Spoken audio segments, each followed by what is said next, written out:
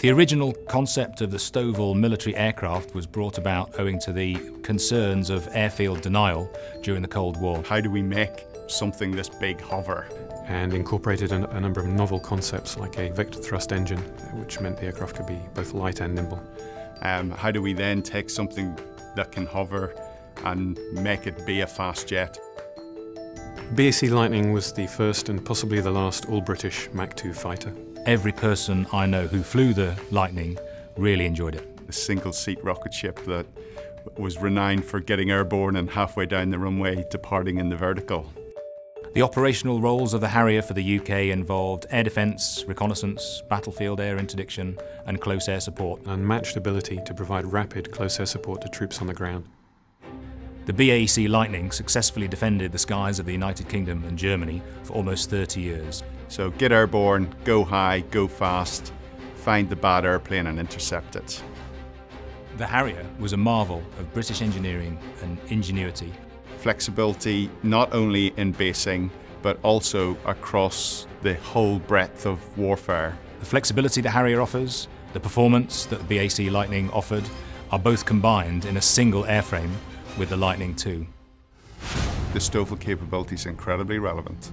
In today's uncertain world, where you just don't know where the next operation is going to be or what it's going to look like, then you need to be able to have a platform that can operate in all environments.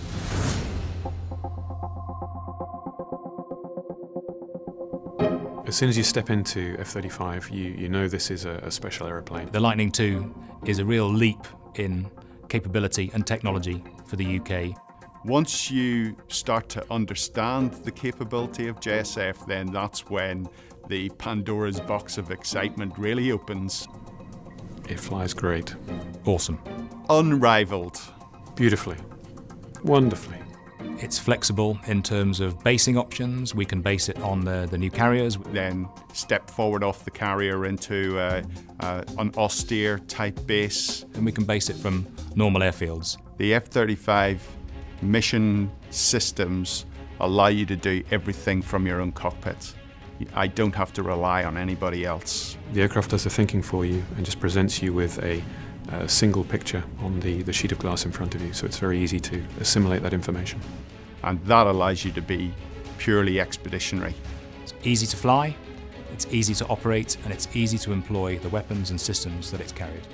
Day one capability, uh, especially through stealth and the fifth gen piece, and also interoperability and the ability to uh, just to plug in with our key allies. The UK has never had the ability to carry out day one operations alongside its coalition partners before, and that's very important to the nation.